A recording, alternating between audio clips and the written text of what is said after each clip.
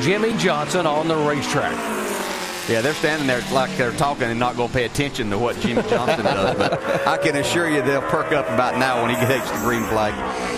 Well, he was ninth quickest in practice, the only practice session. Let's see what he can do. He's got to beat a 19.619 second lap to beat Jeff Gordon for the pole. I tell you, that's going to be a tall order to beat that lap Jeff Gordon put down.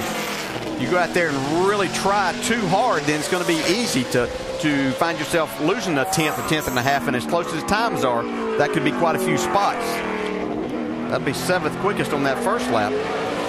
I really studied Jimmie Johnson in practice. I watched him run lap after lap in race trim, and just you know he's like a machine out there, but not able to really lay down this fast lap. And you see right here, it's gonna it's gonna be a decent lap. It's not gonna be where he wants to be in qualifying. He picks up just a little bit, but he stays seventh fastest overall. But I will say this. Good effort there, bud. Good effort. 1977. Let's uh, let's talk with You Jeff. be kidding me.